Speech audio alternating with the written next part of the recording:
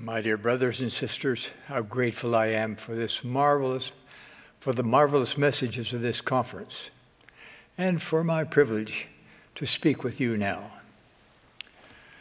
For the more than 36 years I've been an apostle, the doctrine of the gathering of Israel has captured my attention. Everything about it has intrigued me including the ministries and names of Abraham, Isaac, and Jacob, their lives and their wives, the covenant God made with them and extended through their lineage, the dispersion of the 12 tribes, and the numerous prophecies about the gathering in our day. I have studied the gathering, prayed about it, feasted upon every related scripture, and ask the Lord to increase my understanding. So imagine my delight when I was led recently to a new insight. With the help of two Hebrew scholars, I learned that one of the Hebraic meanings of the word Israel is let God prevail. Thus, the very name of Israel refers to a person who is willing to let God prevail in his or her life. That concept stirs my soul.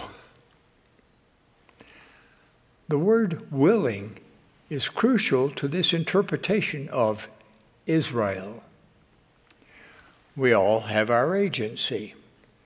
We can choose to be of Israel or not.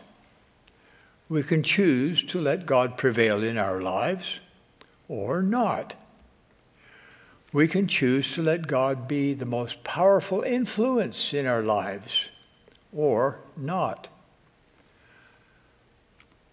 For a moment, let us recall a crucial turning point in the life of Jacob, the grandson of Abraham. At the place Jacob named Peniel, which means the face of God, Jacob wrestled with a serious challenge. His agency was tested. Through this wrestle, Jacob proved what was most important to him. He demonstrated that he was willing to let God prevail in his life. In response, God changed Jacob's name to Israel, meaning, let God prevail. God then promised Israel that all the blessings that had been pronounced upon Abraham's head would also be his. Sadly, Israel's posterity broke their covenants with God. They stoned the prophets and were not willing to let God prevail in their lives. Subsequently, God scattered them to the four corners of the earth.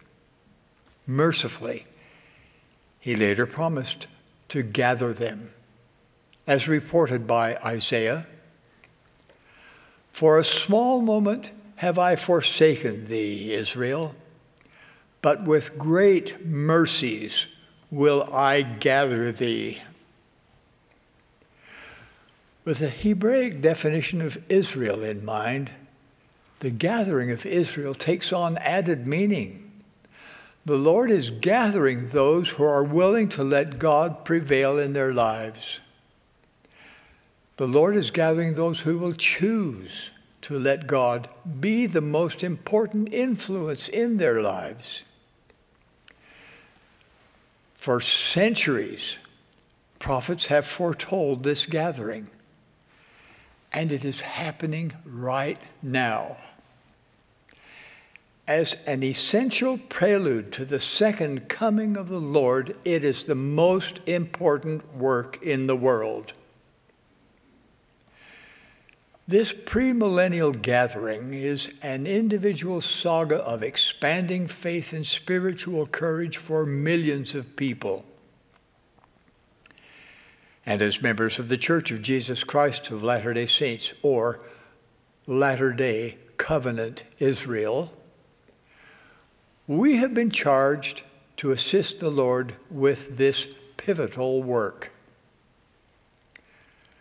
When we speak of gathering Israel on both sides of the veil, we are referring, of course, to missionary, temple, and family history work.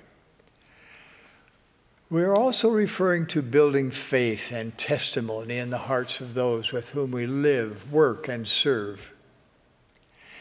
Anytime we do anything that helps anyone on either side of the veil to make and keep their covenants with God, we are helping to gather Israel. Not long ago, the wife of one of our grandsons, was struggling spiritually. I will call her Jill. Despite fasting, prayer, and priesthood blessings, Jill's father was dying. She was gripped with fear that she would lose both her dad and her testimony. Late one evening, my wife, Sister Wendy Nelson, told me of Jill's situation. The next morning, Wendy felt impressed to share with Jill that my response to her spiritual wrestle was one word. The word was myopic. Jill later admitted to Wendy that initially she was devastated by my response. She said, I was hoping for grandfather to promise me a miracle for my dad. I kept wondering why the word myopic was the one he felt compelled to say.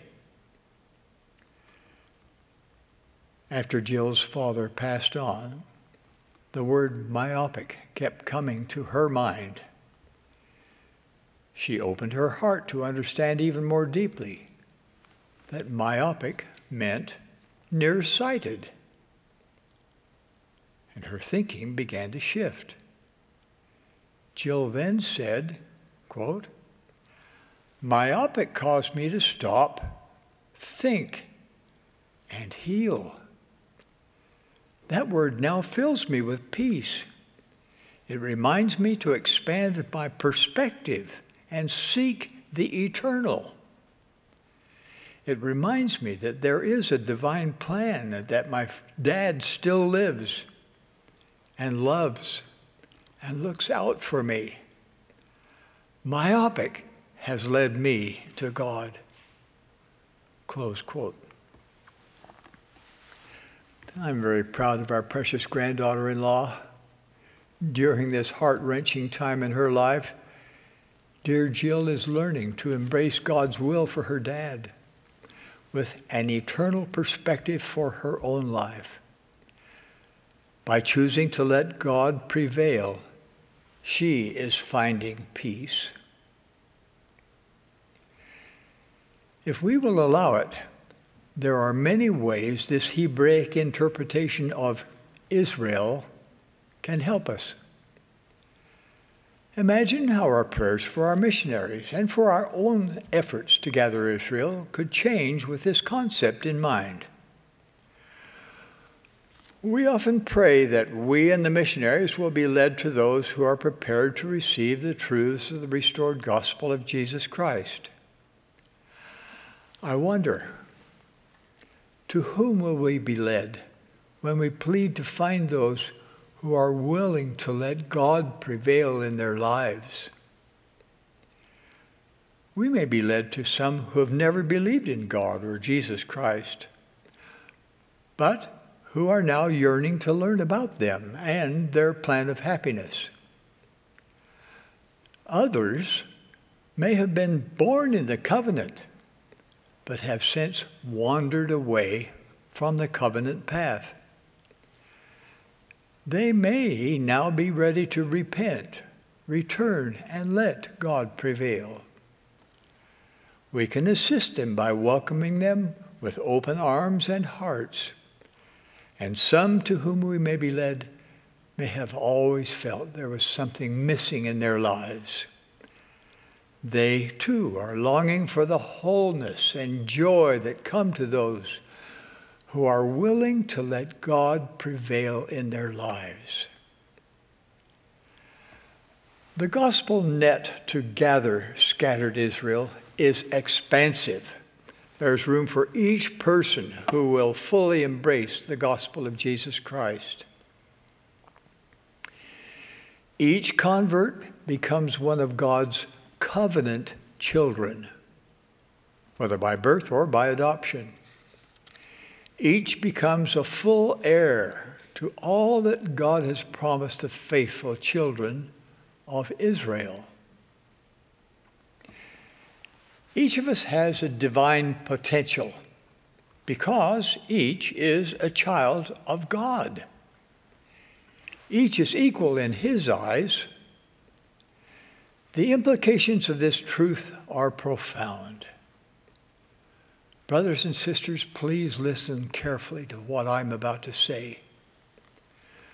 God does not love one race more than another. His doctrine on this matter is clear. He invites all to come unto him, black and white, bond and free, male and female. I assure you that your standing before God is not determined by the color of your skin favor or disfavor with God is dependent upon your devotion to God and His commandments and not to the color of your skin. I grieve that our black brothers and sisters during the, uh, the world over are enduring the pains of racism and prejudice.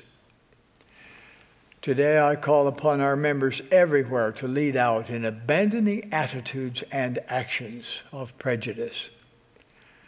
I plead with you to promote respect for all of God's children. The question for each of us, regardless of race, is the same. Are you willing to let God prevail in your life? Are you willing to let God be the most important influence in your life? Will you allow His words, His commandments, and His covenants to influence what you do each day?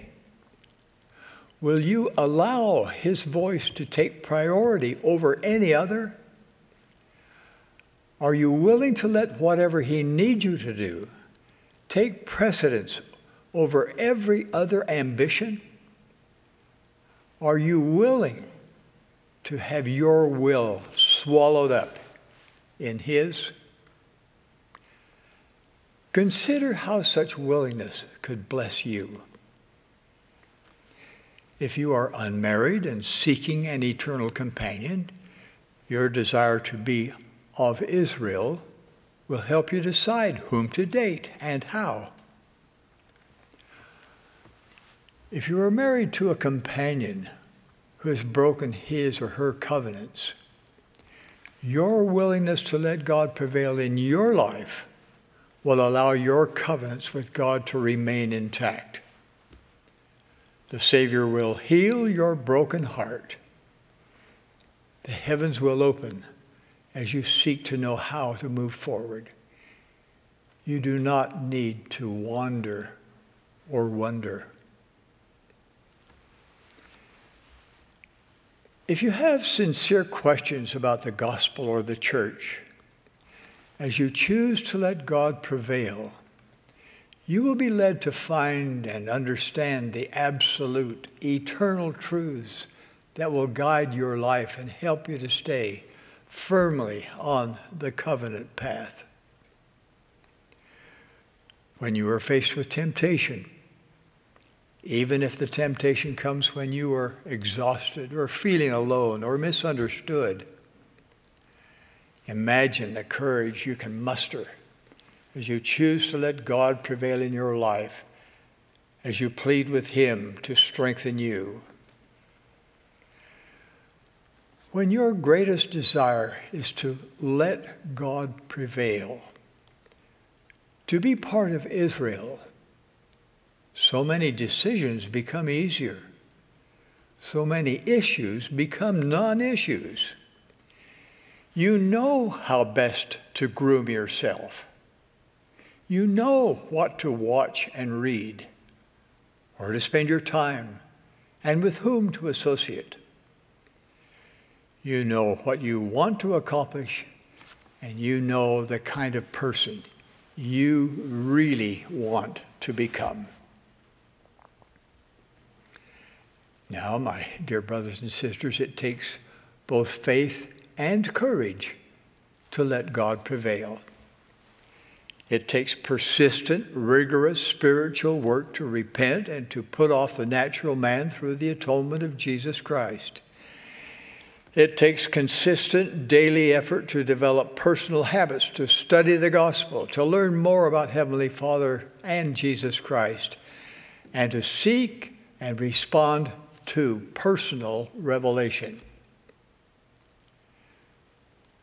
During these perilous times of which the Apostle Paul prophesied, Satan is no longer even trying to hide his attacks on God's plan.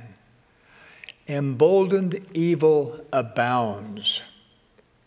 Therefore, the only way to survive spiritually is to be determined to let God prevail in our lives, to learn to hear His voice, and to use our energy to help gather Israel. Now, how does the Lord feel about people who will God prevail? Nephi summed it up well. The Lord loveth those who will have him to be their God. Behold, he loved our fathers, and he covenanted with them. Yea, even Abraham, Isaac, and Jacob. And he remembers the covenants which he has made. Close quote. And what is the Lord willing to do for Israel? The Lord has pledged that he will fight our battles and our children's battles and our children's children's battles to the third and fourth generation. As you study your scriptures during the next six months, I encourage you to make a list of all that the Lord has promised He will do for covenant Israel. I think you will be astounded. Ponder these promises. Talk about them with your family and friends then live and watch for these promises to be fulfilled in your own life. My dear brothers and sisters, as you choose to let God prevail in your lives, you will experience for yourselves that our God is a God of miracles. As a people, we are His covenant children and we will be called by his name. Of this I testify in the sacred name of Jesus Christ. Amen. Amen.